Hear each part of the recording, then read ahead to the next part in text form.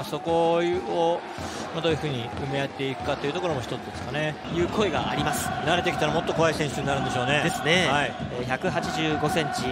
前半はセレッソボールのキックオフです。中村出身の笛が鳴りました。ビトル・ブエノは後ろの西尾に預けて、まあ、高見で離脱で土屋と白井が中盤のセンターコンビを組んでいます。犬飼から角度をつけて山田の落とし細谷来た。踏み込んだがコーナーキックです。いいとこ出ました山田もね。センターバックのロングフィードから。まあ、マイクマンも上り里もどちらも非常にクレバーなサイドバックです。スピードがありますカプシャーバ。折り返したこれはそのままプレーは続行。ゴール前で古賀とレオセアラでしょうか、ね。えー、交錯しました。PK です。左サイドアタックゴール前詰めたレオセアラ。あとカードじゃないですかね。好調レオセアラで決めました。セレッソ一歩リード。VAR で PK 獲得その PK をレオセアラーがしっかり沈めました。関根出ましたがカピシャバを関根奪った。中に残します。奥のもう一回奥入れ替わった。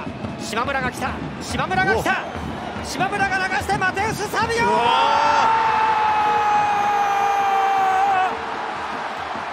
あっという間のイコアライザー。先発起用に応えました島村。華麗なそして鋭い突破。最後はマテウス・サビオが仕留めました。1対1犬飼が頭。拾った山田優斗。踏み込んで山田の右足、うん、はい、はい、こうですね。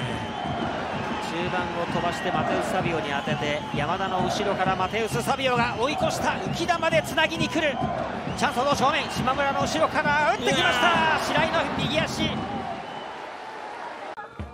さあ正面からビトル・ブエノ、アッパーネット枠のちょっと上を越えて上側のネットに当たったんですが。サイドハーフの選手が内側入ったり降りたりした時にそのスペースを狙うっていうのは多分チームとしては、まあ、約束事じゃないですけどなってると思います。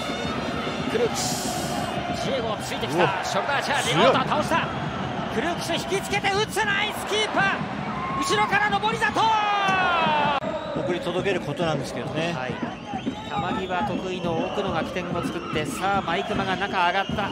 クルークスクロスチャンス飛び込んできた！自慢の左足。脅かしましたジョルディ・クルークス。あなるほど。はい。あこれで前半終了の笛です1対1という前半です。PK レオセアラセレッソ先制。しかしながらマテウス・サビオが21分2分後に追いついてという1対1やっぱりそれもやっぱチームの特徴の一つかもしれませんね、はい、さあ後半が始まりました。まあ、最終的に2-0で勝ちましたが2節前の突戦なんかはもともとはドリブラーですの上り里間間通したチャンスだぞ。踏み込んで柴山左足で打った。キーパー取った。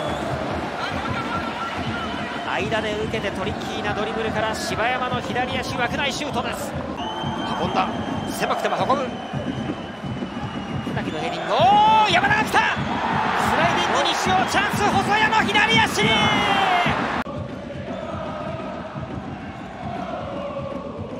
ほら。フェイントでした角度をつけてマあチャンス。左側からふんわり上がった。これはもうかなき無人票。なんとかクリア。後ろから熊坂上がった。木下止めた。マテウス・サビオ上がってきた。マテウス・サビオの頭。島村のマテウス・サビオ。際どい並走するマテウス・サビオ。逆サイド関根も上がってきています。クロスボールにした。大外に関根。拾って右足で豊島狙った。枠を捉えました豊島の右足。ここで中村主審の笛が鳴りました。結局後半はどちらも得点なく1対1勝ち点を1ずつ分け合った形に。ウンド16でベルギーに敗れてしまったという、まあ、そういった中でのレギュラーでもありました。さあ両チームの選手たちがこのピッチへと入ってきました、まあ、前節は後半から庄司入りましたけれども、うん、まあ、そのような形というところになって。あのつなぎで絡むだけではなくてビルドアップの時に前向きの選手がいる時にこう前線の選手を追い越して。いくそして一昨シーズンはルヴァンカップも取っています。さあゲームがスタートをしました。アウェーの広島のボールでゲームがスタートをしています前半は右にエンド、うん、そして浮上も行きましたけども佐々木翔です。さあこのルーズボールですけれどもあ、うん、ここは東のもとに行きました。ニアに寄っていったのは大橋でしたけれどもここは三田だ。三田から大橋。大橋コントロールからシュートきたフラッグは上がっていません。ゴールイン先制サンフレッチェ広島。大橋が決めます今ないんじゃないですか、ちょっと僕も上からしか見てないんで分かんないですけども、はい、ここセカンド。こ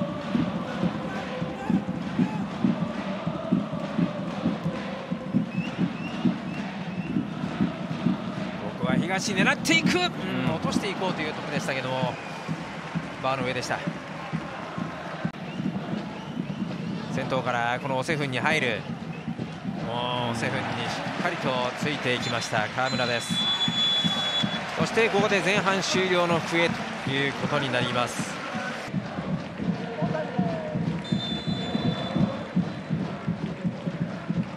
さあ後半がスタートしました。ホームの町田のボールでスタートをしています。後半は左にエンド青いシャツ FC 町田ゼレビアホーム。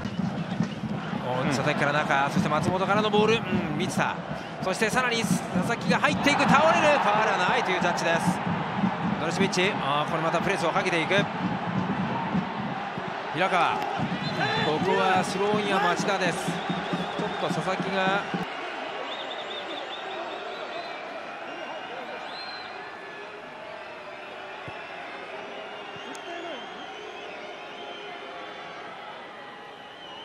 見え方が違うのかなというところですね。はい PK だ。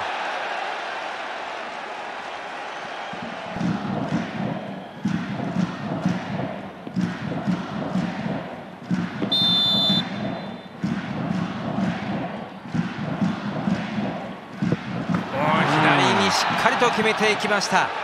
ミスタの得点です。追加点が入りましたサンフレッチェ広島。前半は流れの中から大橋。そして後半に入って PK で満田です。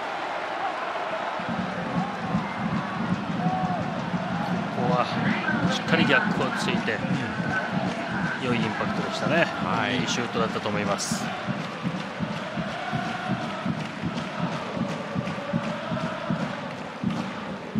満田は今季ここはキープをしていきますが河村です。そして前に満田が運んでいく。左に東カットインをする。そして松本からもう一度東を使った。東からシュートだ。谷のセーブ。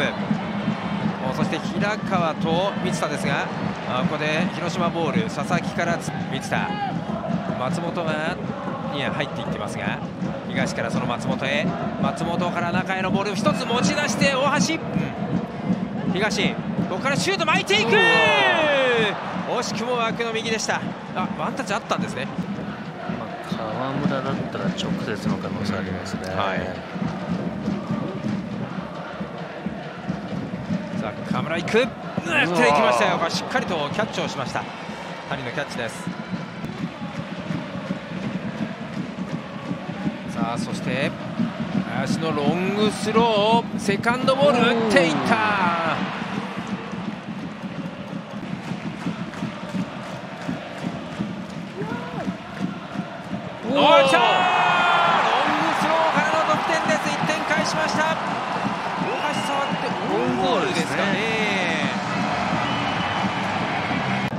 広島。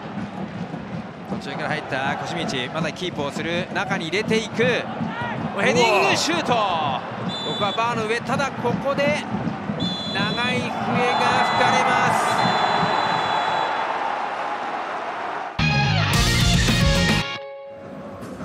ポープ・ウィリアムが出場停止明け、えー前節は J1 白坂初先発となりましたがキーパー変えてきました、えーマルシーニョ出場停止明けで戻ってきましたがベンチスタートになりました。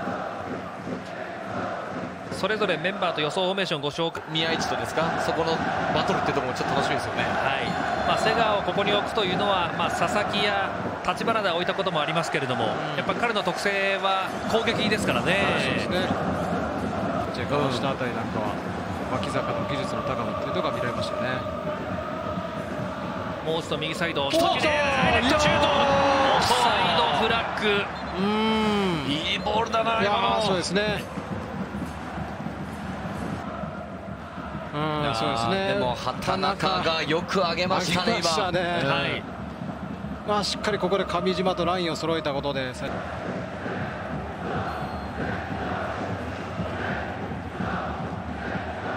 巻いてきます。脇坂が行きました。ちょっと落ちきらなかったですね、開いた。渡辺、前アンデルソン・ロペス、右からエウベル、また一人抜けた。意識的にディフェンダーの股間も抜いたラストパス。壁を外してちょっとファーサイド側に立っています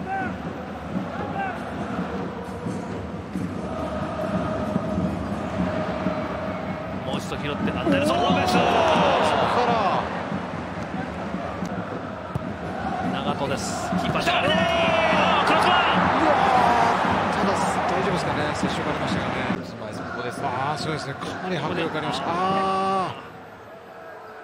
頭同士のような形でしたね。立花ですかね触ったの最後は。ここで。あ、ああそうですね。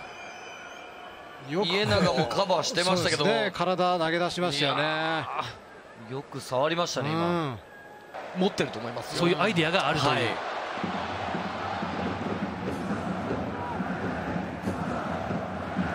松原。松原健が上がってきました。もうちょっとタイトにつかないといけないですね、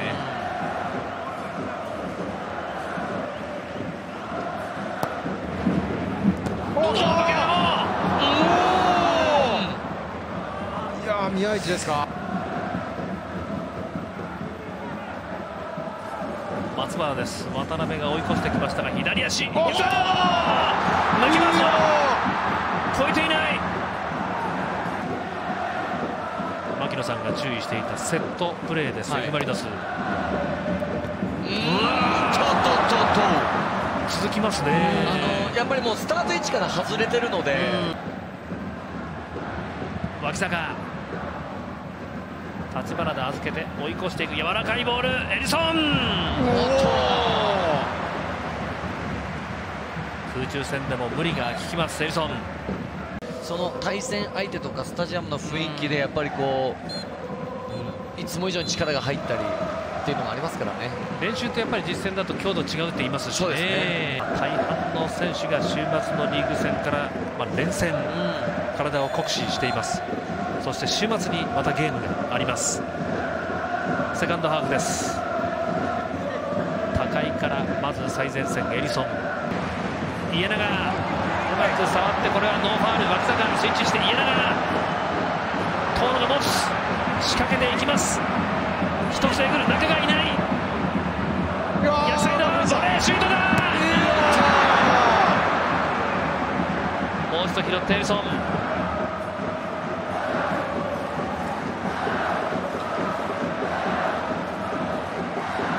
中を確認して瀬古。折り返しタッチあります。コーナーキック。それを止めるため、やっぱりあの高さみたいな、そういうのもやっぱあるんじゃないですかね。このツートップ、やっぱあの迫力ありますよ、あの2人とも速いですし、走れるし、コンビネーションもやっぱいいですから、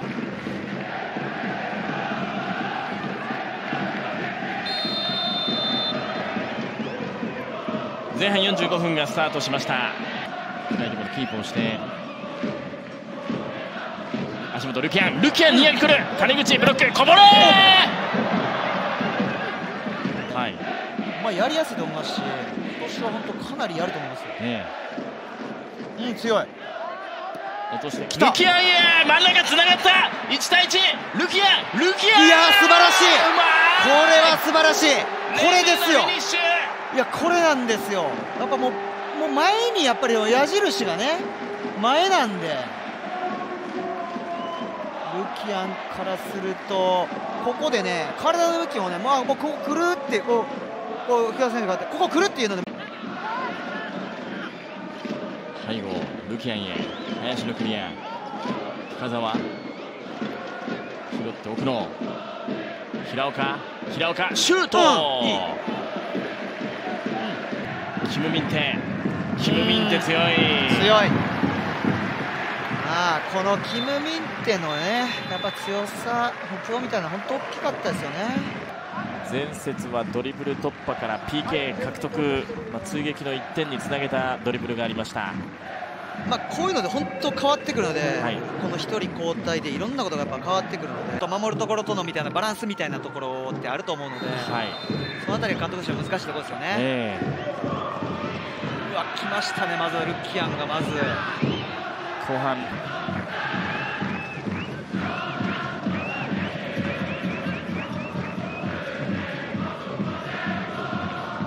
ルキアン入れてくるニア。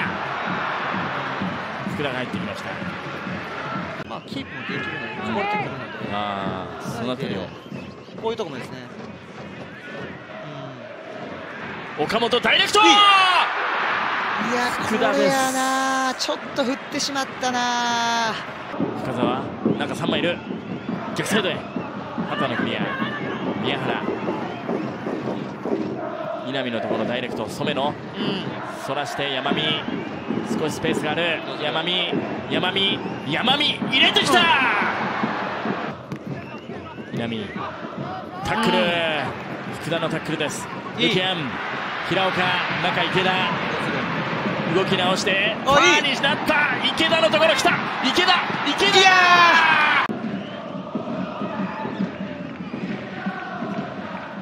狙っている。林のインターセプト。染野前が空く。染野につきシュートだ!わ。ずかに右。失礼染野です。田中奥野。背後へ。いやマテウスおーっと！ぶつかった。どうする？いやー。あウイングの両ワイドはちょっと開きながら、ここに染野でした。うん、染野につき左へ山見背後取った山見1人外す中2枚来るカットイン山見狙ってきた判断、この瞬間瞬間でやっぱ全部判断しないといけないですからね。はい。三木のキック。大外、山見つながります。中枚数はいる。山見外す。大きなモーション入れてくる。いいボールだ。谷口。追いついたベルディ。フリーキックの流れから。今日も追いつきましたベルディの意地。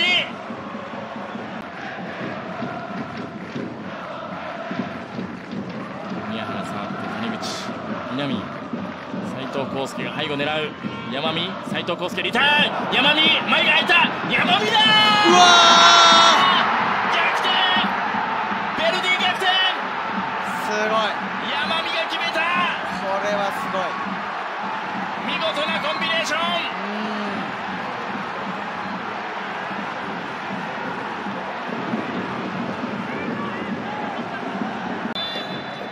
かりとラインアップしてました。試合終了、東京ベルディ。16年ぶり J1 勝利。早い段階で主導権を握って先に点を取るような、まあ、前半からこう動いてくるようなサッカーになるんじゃないかなっていうのは予想しますけどね。はい。まあ、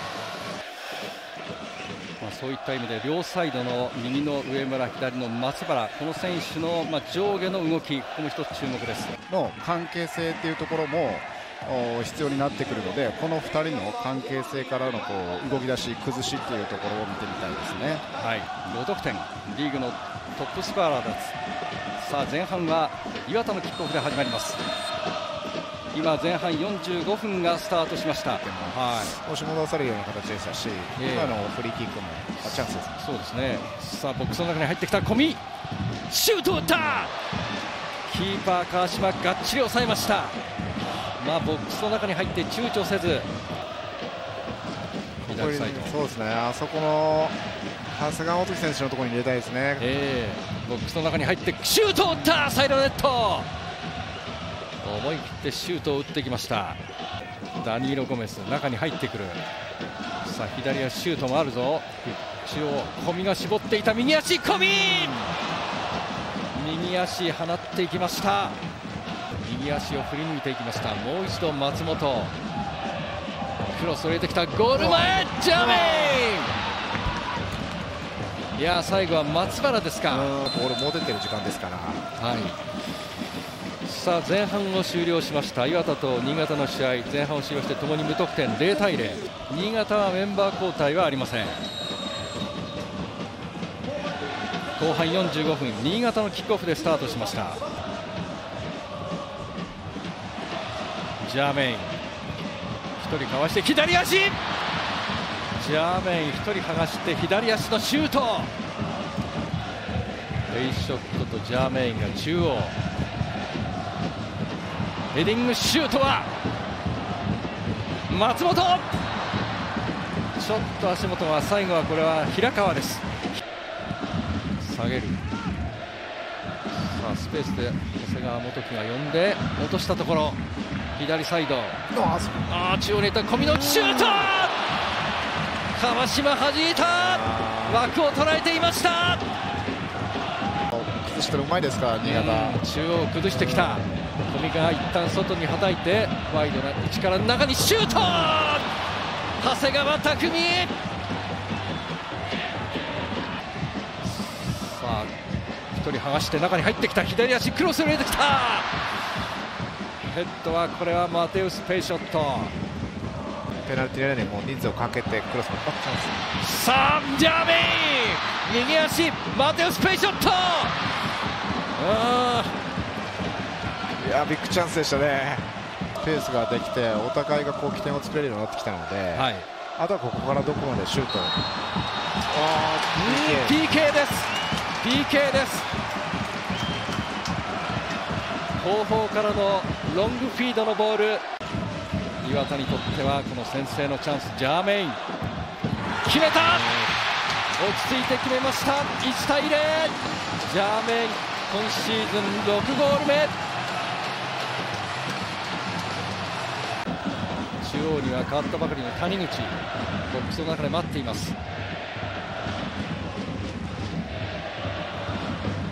長谷川匠シュート！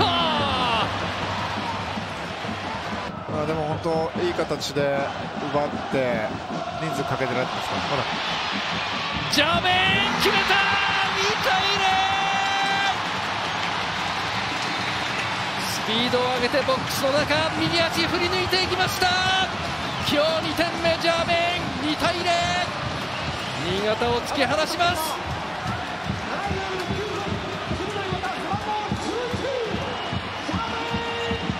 一瞬でしたね、えー、ややこう新潟がこう反撃に出るためにバランス崩した時の川島選手からのロングフィードでペイシャン選手が落としたところに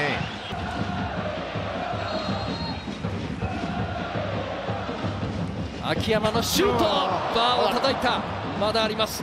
中に押し込んでいく。そして太田。シュートは打てない。まだ新潟。クリアをしました。いや、ジュビロのね、岩田の守備のバランスいいですね。ここでタイムアップ、ジュビロ岩田、4試合ぶりの勝利。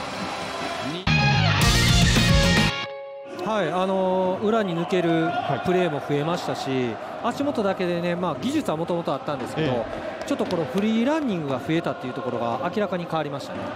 ネタラビ鈴木徳馬というセットを選択したのが、はい、まずは前の3人ですね。安西選手も初先発ですし、えー、その辺りをしっかり連動してできるかどうかっていうところがガンバ大阪山田浩太のキックオフで始まっています。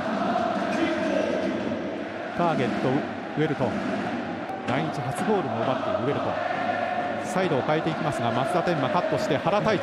原太一。原太一。かわしていく。シュート!枠には飛びませんでしたがうまく引っ掛けた京都サンガ FC です。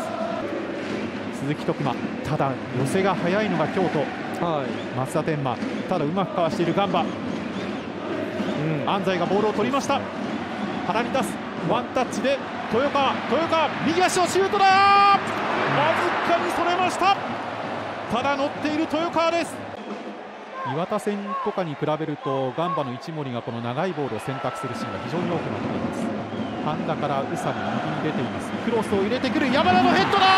そういうこぼれたところ。ウェルト止めたのはピアタウヤ久志黒川クロスヘッドハンガラーのわずかに枠をそれていきまし。た安西ワンタッチ豊川に出しますがこぼれ球。安西のシュート。一森。スリッピーなピッチ状況ということもありましてバウンドさせました。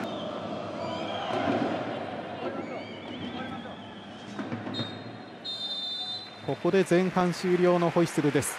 濃密な47分でした。少し足を引きずっている原太一です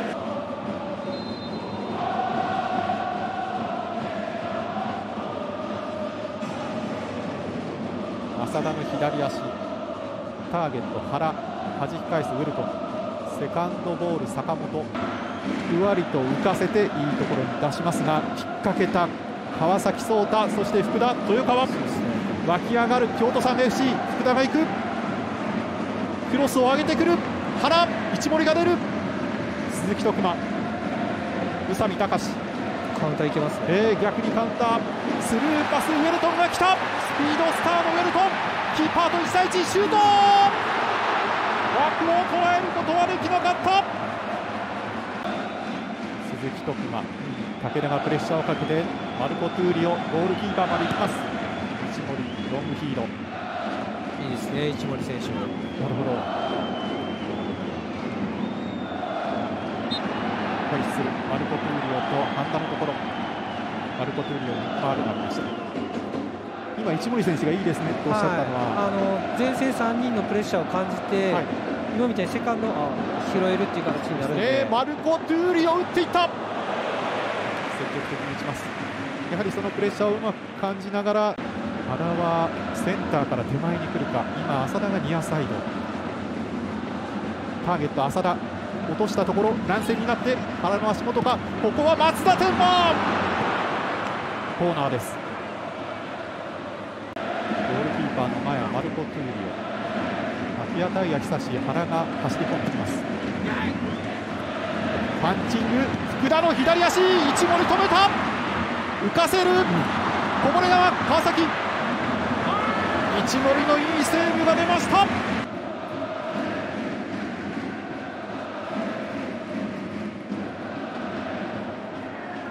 すぐに囲む京都ですがボールを通す。メッシのこの位置。ジェバリファーストタッチ。サイドを変える。ただ脇当たり差しカットダワンが出てきてメシのメッシのメッシの左足のシュート！コーナーです。セカンドボール福岡翔太。山崎スルーしてマルコ・トゥーリオ。マルコ・トゥーリオ。マルコ・トゥーリオシュート！よく抑えた一森終わりましたここでホイッスルです。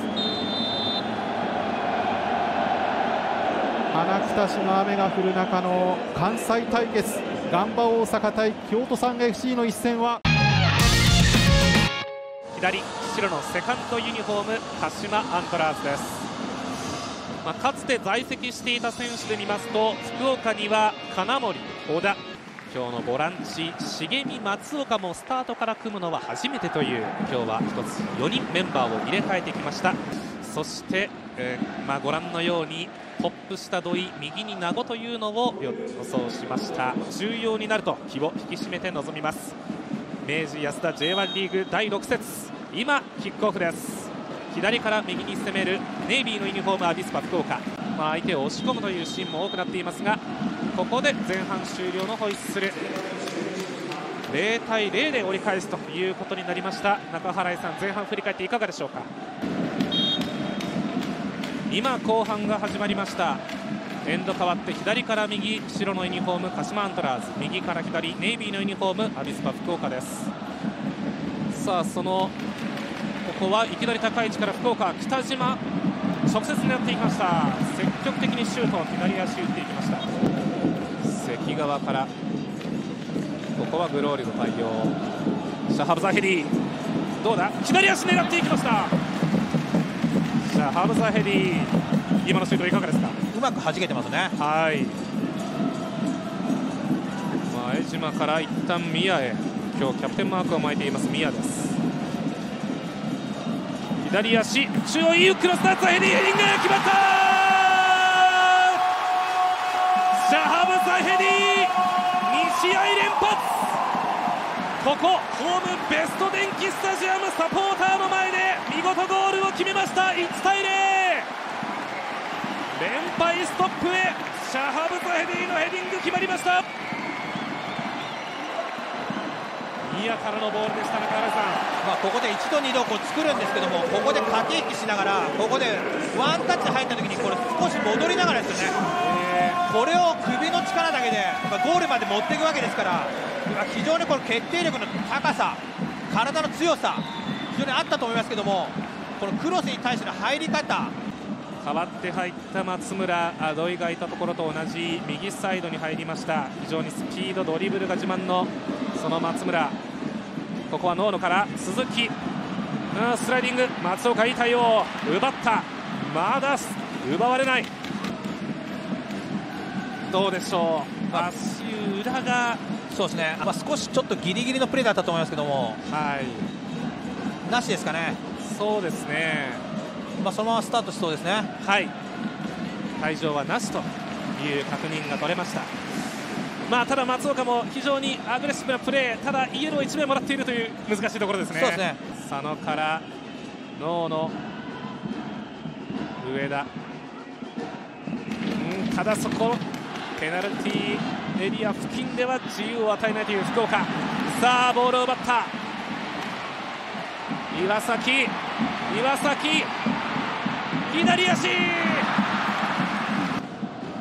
1対0福岡1点リード安西中央ワンタッチゴール前樋口村上スーパーセーブ1対1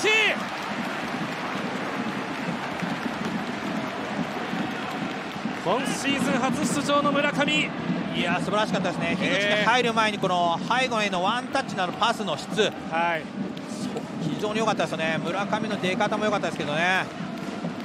直接狙える距離、さあ、パレジ、狙った、低いボールを選択しましたが、もう一度、樋口の右足、枠を捉えることはできませんでした。こ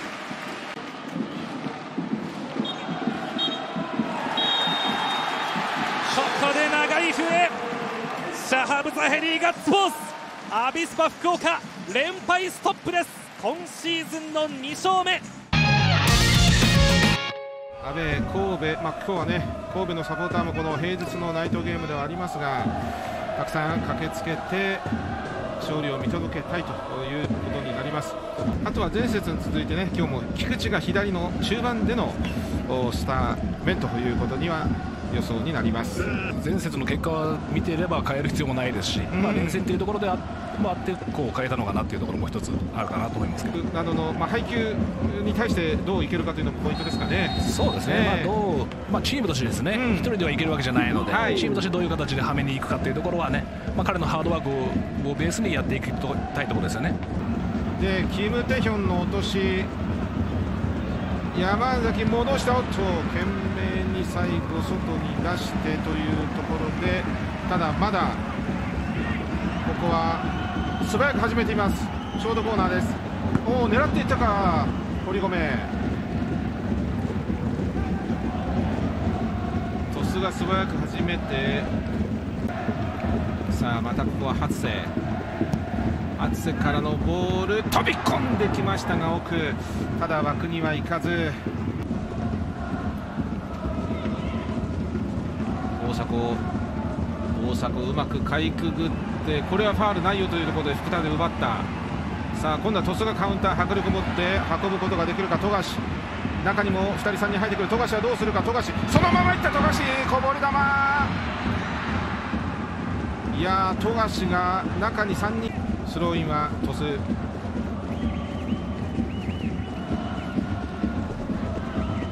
菊池戻す原田富樫奥。福田が拾った。で今度はシュートに来ましたが最後丸橋。丸橋のミドル1レベルでどこまで影響を与えているかというところですね。はい。初瀬さあここを崩していこうというところパスワークを神戸だったんですがただツーレルで出てきた。この後のカットうまく武藤も前を向く。武藤。武藤!武藤の強烈な右足はクロスバーいやー見せ場十分のショットでしたが武藤。扇原。扇原からのボール。ツーレル。バックイルグです。ツーレルが足で。初瀬からのボール。ヘディングおっとパクイルグだ。武藤のヘッド。でさすがにここで前半終了ということにはなりました。前半は0対0です。さあ増川さん前半の感想お願いします。そうですね。お互い持ち味出た試合ですし入っててからの小気味のいいパスワークですかね、えー、そういうところに関しては神戸も嫌がってるかなと思うので。そこは手応えをね前半でもね、はい、コスとしては感じていることでしょう。変わって後半が頭から佐々木入っています佐々木早速その佐々木そして大迫!いやいきなりビッグチャンス佐々木大迫のラインでしたがこのねある意味宮代の良さをこう出させないような戦術も当然今日やっていることでしょう。さあ堀米狙っていきましたがそのまん前川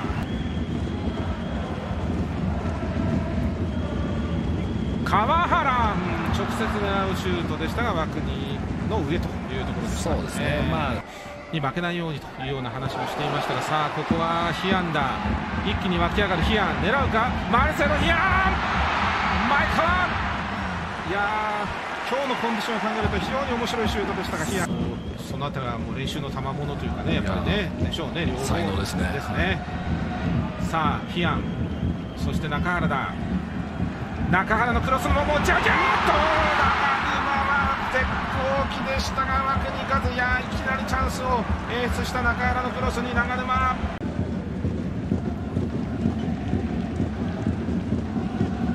でまたクロスが入る。武藤。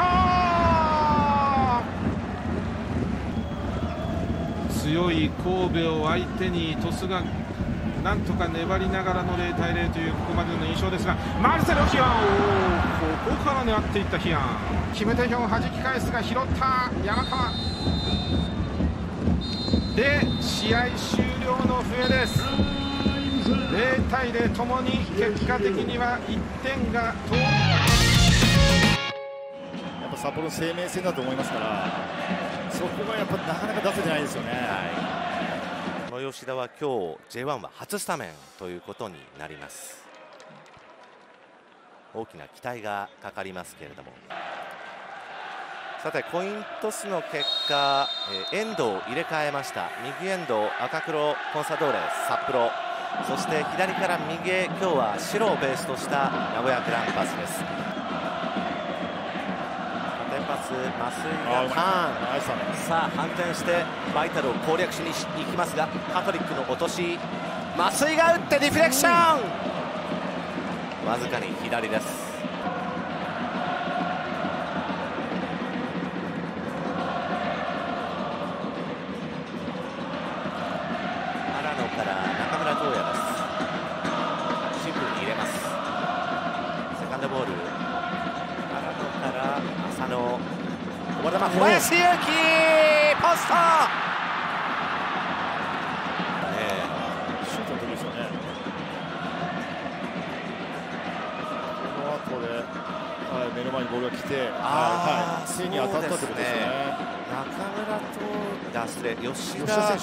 村とあ失礼吉田選手ですね春樹の左腕に、ちょっとボールが当たっているように見えますがどうでしょうか？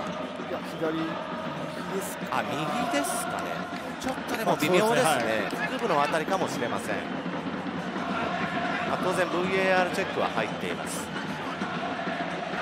菅反応が速い札幌中村クロス。ファーサイド。セカンドボールはまた拾って馬場から浅野です。スルーパス。馬場が来た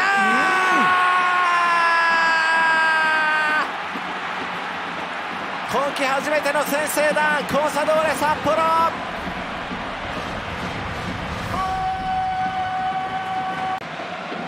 まあね、しっかりコース見てやっぱ鋭いですねシュートも、落ち着いてましたねシデントなどではなさそうですけどね。戦術的な交代としてなんでしょうか。長いではないですね。後ろで5枚並んでいる札幌。結局名古屋はまあ前にボールをつけられないままがこの残り45分間で求められますちょっと前半はリズムが出なかったですからそれを後半名古屋は取り戻さないといけませんね。そうですね。まず守備のところで。ちょっと森島も降りてのプレーが多くなナイスボールだ。そう内側取った。さあ泉あーっとこれは PK かけましたね。菅の足がかかりました。イエローカードが出ます。注意が与えられました。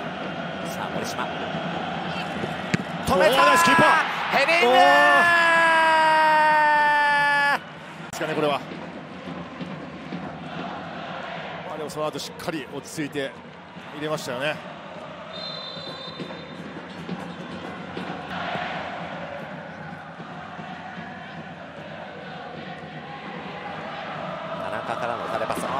長谷川はちょっとボールを見ていません止まりますよこれ。裏に抜けた。永井が来た。永井だ。うわ永井ループうわすごい。これがありますよね。衰えないスピードスター永井が取りました。90分グランパス形成逆転。一発ですよこれ。裏返って速いですしこのコントロールでイメージ通りじゃないですかね。長谷川入れます。こぼれ球。シュート、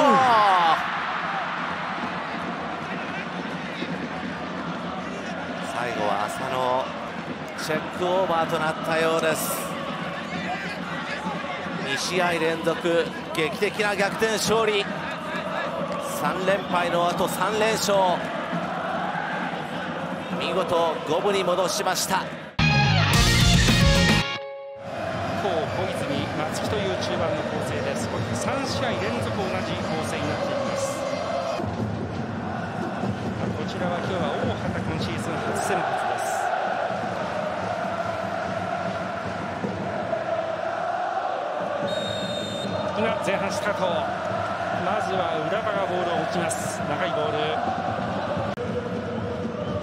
フィード。シアゴサンタナ背後を取るシュート。ブロックナイスセーブです。キーパー野沢。中村。マイナス。フリー。また戻し後ろからシュート。ミドルシュート決まった。河野ゴール。FC 東京先制です。まあ、ここしっかりこうスペースを作る動きっていうところとね、まあ、このうまくペナルティエリアに侵入して相手をこうゴールの方に押し込んだ状態の中で相手バイタルからミドルシュートでしたね、まあ、このミドルシュートも抑えの効いた、まあ、もう素晴らしいコースに飛ばしましたねしっかりと。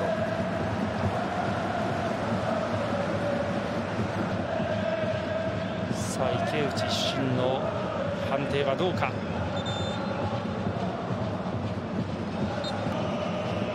こうから荒木。荒木縦パスシアゴサンタナ前向く。さあカウンターです。松木のディフェンスかわす。サンタナ打ったスーパーゴールチアゴ・サンタナ！なんというゴール。長距離シュート突き刺しました。国立でとんでもないゴールが生まれました。野沢もこの表情です。やびっくりしましたね、え。ー、いやまずこのターンがまず非常にうまくてこの前向いた中でスピード乗ってで松木選手のチャレンジをうまくかわした中で、まあ、ふってルックアップしましたよね。野田選手の位置を確認して、まあ、非常にこうシュートっていうイメージを持って持ち出したと思うんですけども、まあ、ここまで完璧なボールがゴールに飛んでいくかっていうぐらい綺麗な軌道を描いてめましたね。まあ、これは野沢選手もちょっとどうにもできないですよね。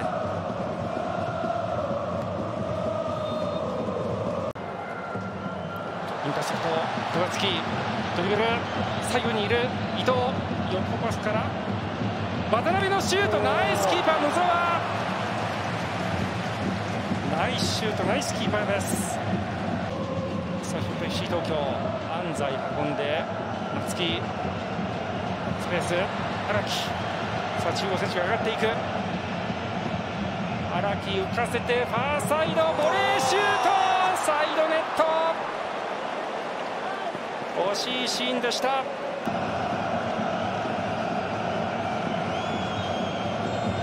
こでホイッスル。前半終了です。0対1浦和リードして試合を折り返します。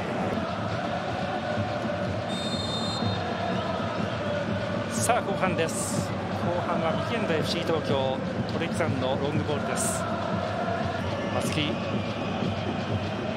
せた酒井。かわしたバングラガンでマイナス。荒木。荒木のシュート! FC 東京追いつきました!荒木は今シーズン5ゴール目。荒木シーズン序盤得点量産体制です。足をコンパクトに振って素晴らしいゴール。タルツミダ。タルツミダクロス。松木ボレーシュートだ! FC 東京逆転!松木のボレー!クロスにボレーで合わせました。今シーズン初ゴール。58分 FC 東京試合をひっくり返しました。